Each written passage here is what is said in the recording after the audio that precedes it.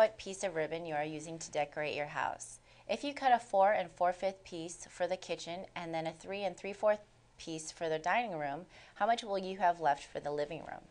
So let's take our number 14 and subtract 4 and 4 fifths ribbon. And then we're also going to be subtracting 5 and 3 fourths from the ribbon. Let's start off by just subtracting these two numbers. So 14 minus 4 and 4 fifths. I'm going to borrow from the 14, leaving 13 feet, and the one that I've borrowed I'm going to make into 5 over 5.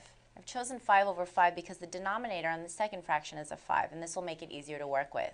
5 minus 4 is 1, keeping the same denominator, and 13 minus 4 is 9. So after we've cut out a piece for the kitchen, we have 9 and 1 fifths left. Now let's cut out the piece for the dining room, minus 5 and 3 fourths. The denominators can both be 20 here. So 5 times 4 will give me 20, and 1 times 4 will give me 4. On top I have 9, and 5, and 4 times 5 will give me 20, and 3 times 5 will give me 15.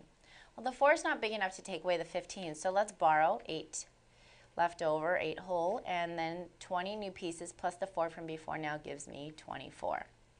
24 minus 15 is 9 over 20, and 8 minus 5 is 3.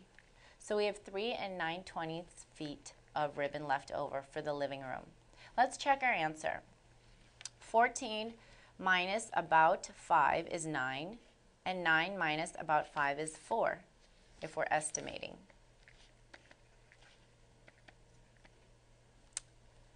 Another 5 leaves me with, oh, 14. So we start out with 14 whole minus about 5 would give us 9, and then minus about, um, I would say that would be closer to 6, would leave us with about 9 minus 6 is 3. So we have about 3 left over and that is um, close to our exact answer.